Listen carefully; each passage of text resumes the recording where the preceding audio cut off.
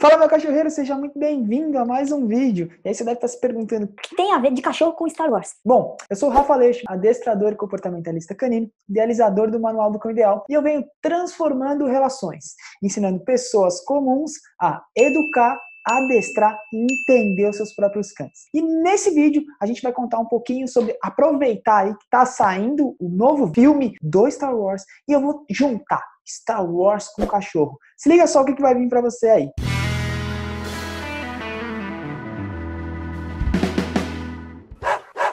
Gente sabe dos seis vídeos, né, dos seis filmes do Star Wars, é que a gente está sempre lutando contra o mal, o bem contra o mal. Além disso, envolve toda uma questão política lá, principalmente no primeiro e no segundo, mas envolve lá uma questão muito política. E aí depois os Jedi, né, o Yoda, tal, eles conseguem reverter o Darth Vader. E foi aí que acabou o último filme, né, o Darth Vader conseguiu saiu do mal e foi pro bem.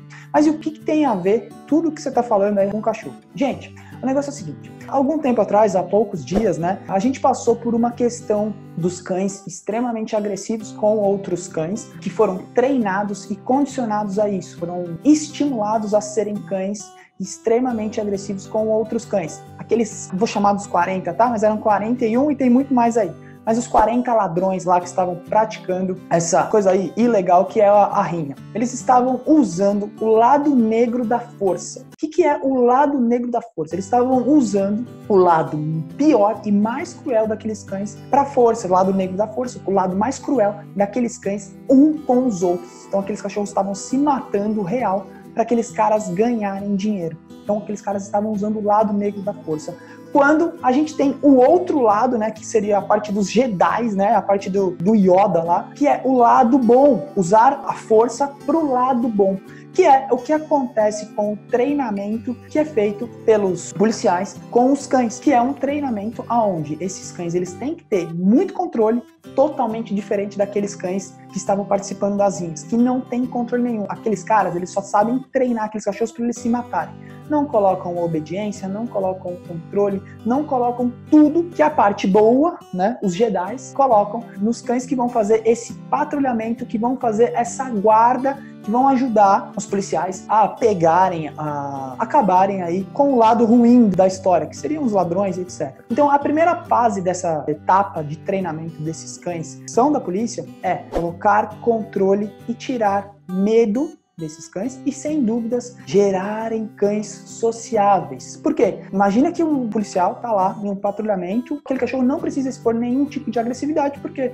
Vamos supor que ele esteja fazendo um patrulhamento em um parque e naquele parque não tem nada acontecendo naquele momento. Então ele pode passar por outros cães, ele pode conviver com outros cães, ele é um cão sociável, ele é um cão que tem sociabilidade também, que convive com pessoas, que convive em ambientes e nada de errado com isso. Diferente do que acontecia com aqueles cães que estavam na rinha. São cães que não têm sociabilização nenhuma, que geralmente vivem dentro de uma caixa, saem somente para fazer o que estão fazendo. Então eles são treinados para serem cães que não gostem de outros cães, que não tenham contato com outros cães, e quando eles têm contato com outros cães, o máximo de interação que eles têm é tentar matar.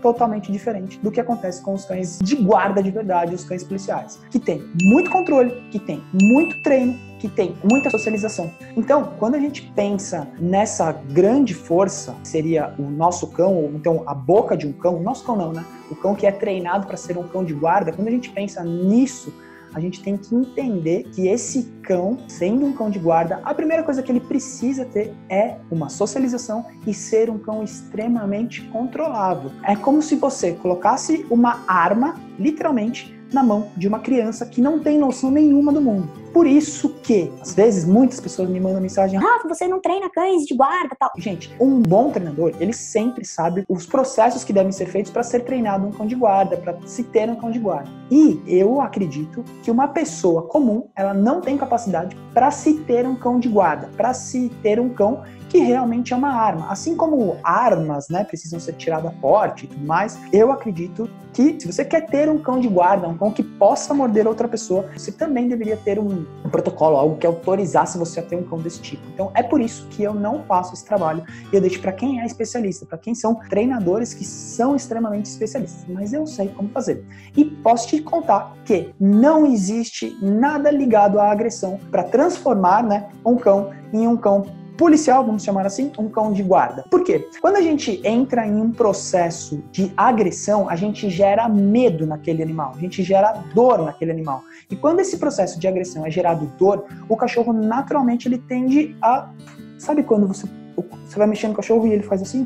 Então, exatamente isso. O que não pode acontecer de jeito nenhum. Então, esses cães, eles são estimulados com muita brincadeira. E qual é a brincadeira que eles mais afloram? É a brincadeira de morder. O processo inicial é estimulação da brincadeira de morder, gerar bastante caça, então esse cão vai ter uma caça bem alta. E quando esse cão tem essa caça bem alta, a gente vai evoluindo com os mordentes, né? Então, desde um mordente pequeno até a evolução de um mordente maior, de um mordente mais grosso, até a evolução de um manguinho e na sequência entra aquela roupa gigante, sabe? Não sei se vocês já viram o, algum treinador utilizando, mas aquela roupa que se chama é uma roupa de bite, né? Que seria roupa de mordida, que protege aí o figurante que está sendo mordido naquele treinamento, naquele evento ou qualquer coisa do tipo assim. Diferente do que acontece com os caras que estão usando o lado negro da força desses cães, que não fazem esse processo, que simplesmente só colocam esses cães para morder e matar. Como que eles fazem esse trabalho? Eles vão começando a estimular essa caça ao invés de serem mordentes em animais menores. E aí, com o tempo, esse cachorro vai pegando o gosto da parada, vai pegando o gosto de ser um cão agressivo com outros animais, até que eles colocam esses cães para brigarem entre si